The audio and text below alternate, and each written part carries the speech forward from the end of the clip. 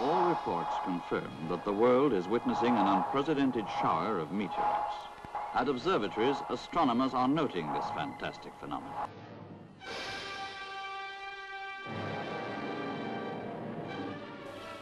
In nature's scheme of things, there are certain plants which are carnivorous.